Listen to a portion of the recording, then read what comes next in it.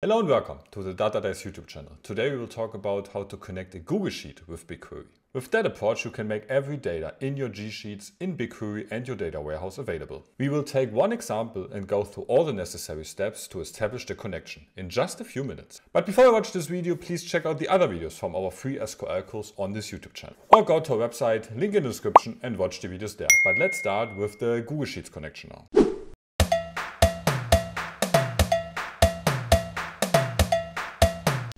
So this is now our Google Sheet as you see here. So we already called it window function. Why? Because in the next videos we will talk about window functions where this table gets super important. Due to that, just that you already know.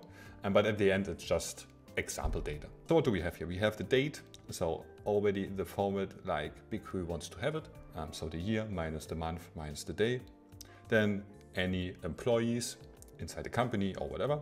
Then a region so a kind of a category or certain metadata of that person or of that yeah, region in general. And, and then the sales, so at the end just a metric we can then later summing up and so on. Then important later for the window function video.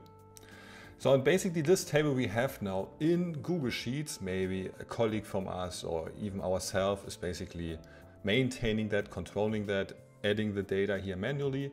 And we would like to have that data as well in BigQuery so that we can maybe combine it with other data, with our order data in general, with our operative data, whatever. And due to that, we need to establish a connection between the Google Sheet and BigQuery. So how we do that?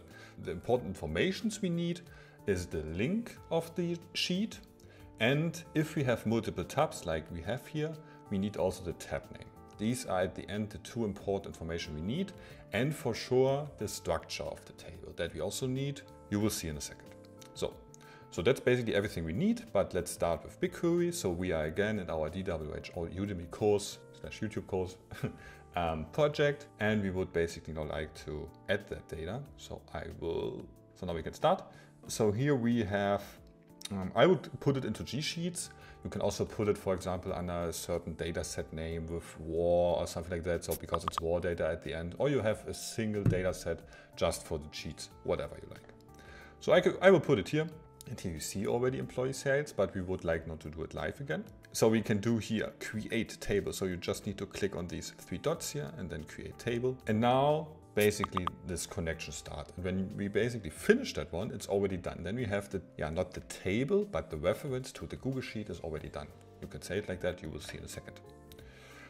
So at first create table form. We do not want to have an empty table. We have already data inside the sheet. So here we can get data from Google Cloud Storage. We can also once uploading data. We get data from Drive, Bigtable, other stuff. But you would like to get it from Drive because at the end Google Sheets is inside the Drive. So now the Drive um, URL at the end is exactly the one on top here. So we are just copying it and putting it here. And now we need to select the file format. The file format can be a CSV, a JSON, Avro I think it's called, and a Google Sheet. We would like to have the Google Sheet and now it's asking you already for the sheet range. This can be even a little bit more complex. So you have the sheet title as you see, but you also have then, you can even say, okay, from which top left cell to which bottom right cell you want to have. So from A1 to D10, whatever. So something like that is possible, as you also see in the example. That we don't need, but for sure we need to add the sheet range. And just that I do not make a typo here, uh, what I usually doing is I'm going to rename, copy it, and that's it. And then I can also put it here. So sheet range employee sales, that's it. More we don't need. So then the destination, so project is already set, data set as well, because we clicked on the data set on the three dots, due to that the data set is already pre-selected. If you want to change it, you can still do it here. And then the table. And this I would call now employee, can do same kind of name as we have already, sales, live. Important would be for me that we put there a sheet or a G sheet behind so that we know, okay, it's coming data from a sheet and it's even just a connection, which you will see in a second. Table type external table is correct, not important now. Now we have two different possibilities. Maybe let's do even both. We have the auto detect and we have the edit as text. We do for now the auto detect which means the BigQuery checks the Google Sheet and basically auto-detect the schema in terms of the column name, but also in terms of the, the, the data types of the columns. So let's see how it works. So then we have tags, we don't need tags. And then we have the advanced options. So here you can just basically mark all these ones. It's for jagged rows and unknown values and so on. So when you have multiple cells in one cell and also or combined multiple cells together merged, I think it's called, whatever, how it should be handled that you usually just need to select all of them, then it's fine. Header rows to skip is more important. So basically the question is when, on which line the real data started. In our case, it starts with the second one because date, employee, region and sales is not a valid data entry. It's just the, the name of the column at the end. And to that, this one we don't need in our final data, in our query data. So due to that, we say header rows to skip one. And then we can basically create a table. Let's see what it says. Okay, so far it's done. So now you see here, employee sales live sheet. So this we can now open and here you see date, employee, region and sales. And it already did the date as a date, the employee as a string, the region as a string and the sales as an integer. So that's already quite good. Then we have the details as usual, but you see one big difference. When we look, for example, in our already known order item data, you see that we have here a preview. So we can check the data at all. We even see here the rows and so on. This we don't see in that table, but what we have here is the source um, URI, we have the skip leading rows, so all that stuff we basically marked and so on.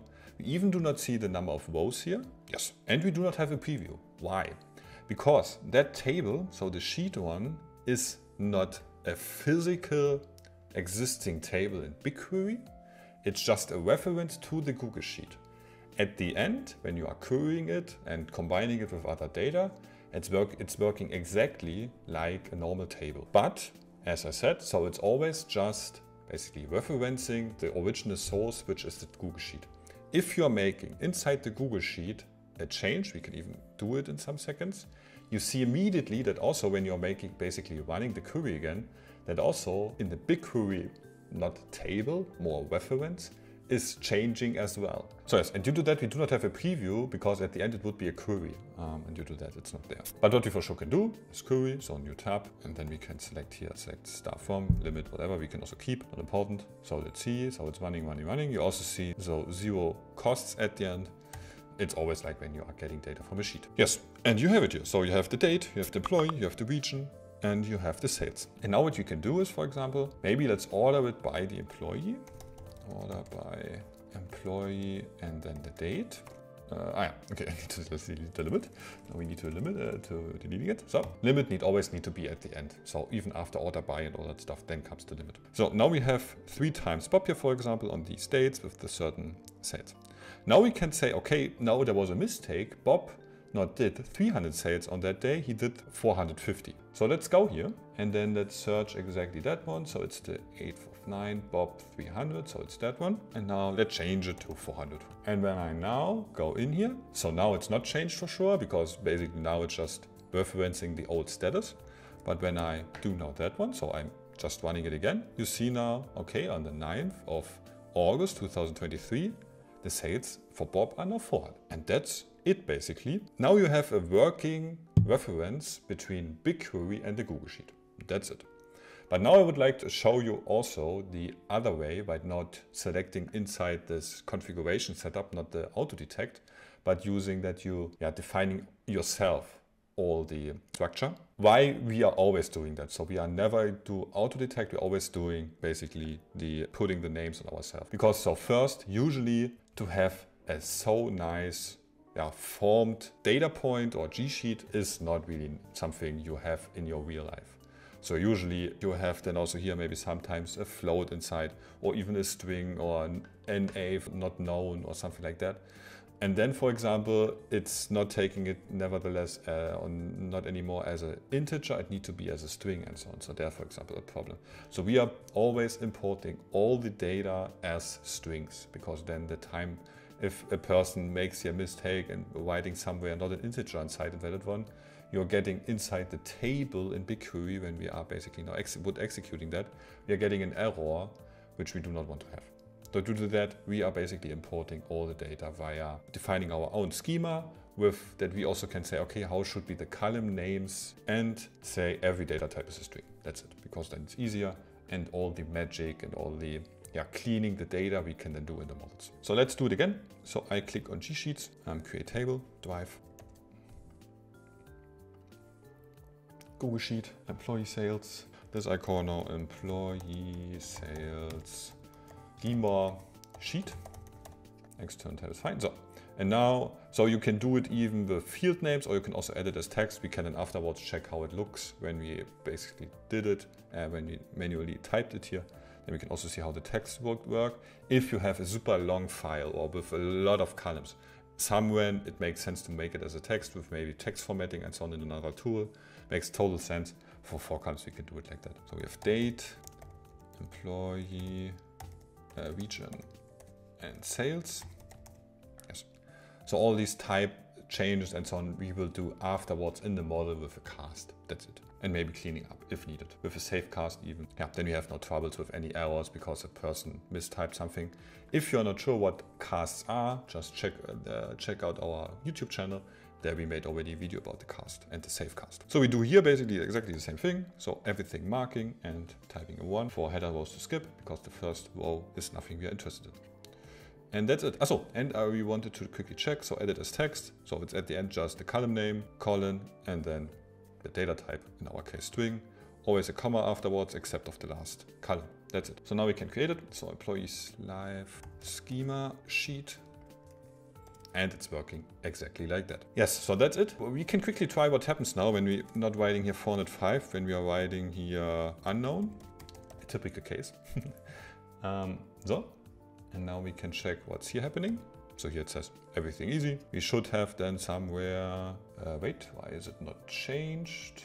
Unknown. Ah, I changed it in the wrong, okay, but whatever. So Jane, we can also search for Jane, where we are, there, unknown, there it is, yes. So there we have it. And then we can switch to live sheet. It also says it's fine. Let's see what it does. Yes, and here you see error while reading table, then just the name of the uh, or the path to the sheet inside BigQuery. Could not convert value to integer, row 1, column 3.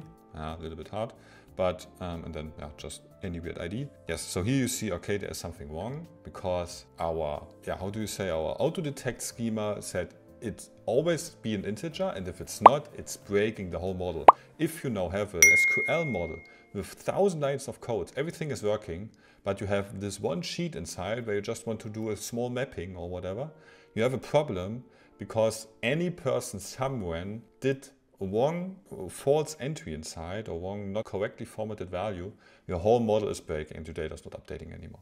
And that's a huge issue.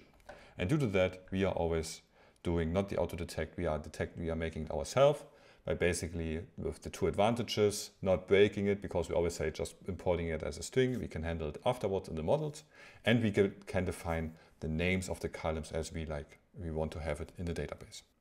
So connecting Google Sheets with BigQuery is a common approach in your data infrastructure. And you will need to do it at a certain time to enrich the quality of your data. I would say we have two use cases where we are using Google Sheets in our data warehousing projects. First, we do certain mappings in Google Sheets, like defining product categories, marketing campaign groups, and more. And second, we define rules inside the sheet to control certain calculations in the models, like the calculation of the targets. But that's it. If you want to have more information about SQL in general, you can check out our blogs on Medium, posts on LinkedIn and our website. The important links you'll find in the description and then see you in the next video.